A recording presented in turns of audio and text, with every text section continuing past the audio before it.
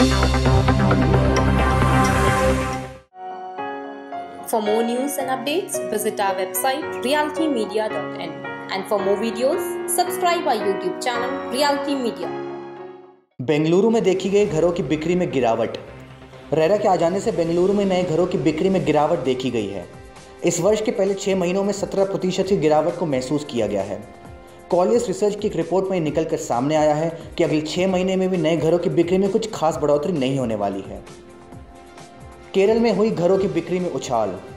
केरल सरकार ने project registration fees को बढ़ा दिया था मगर इसके बावजूद केरल में नए घरों की बिक्री में बढ़ोतरी देखी गई है।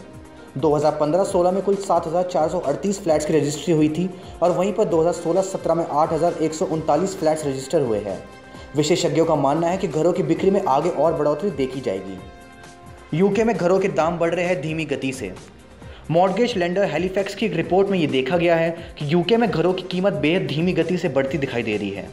पिछले चार साल के मुकाबले इस वर्ष घरों की कीमतों में ज़्यादा उछाल देखने को नहीं मिला है। पिछले वर्ष के मुकाबले इस वर्ष दो दशमलव एक प्रतिशत का ही उछाल देखा गया है। यूरोप से अलग होने के बाद इंग्लैंड का प्रॉपर्टी मार्केट धीमा चल रहा है। मुंबई रियल एस्टेट में बेहद कम एनआरआई कर रहे हैं निवेश। पिछले पाँच सालों में मुंबई रियल एस्टेट के अंदर 20 से 25 प्रतिशत सेल्स की कमाई एनआरआई निवेश से होती है। हालाँकि इन आंकड़ों में गिरावट देखी गई है। इस साल केवल सात प्रतिशत निवेश ही हुआ है एनआरआई द्वारा और इसका सबसे बड़ा कारण ये है कि हाल ही में रियल एस्टेट नियमों में फेरबदल किए गए हैं, जिसके चलते एनआरआई निवेश करने से कतरा रहे हैं। अफोर्डेबल होम्स है गुरुग्राम में लोगों की नई पसंद। कॉलियर्स इंटरनेशनल की एक रिपोर्ट में निकल कर सामने आया है कि जनवरी से लेकर अब तक 90 प्रतिशत नए घरों के लॉन्च में अफोर्डेबल हाउसिंग सेगमेंट सबसे ऊपर आता है।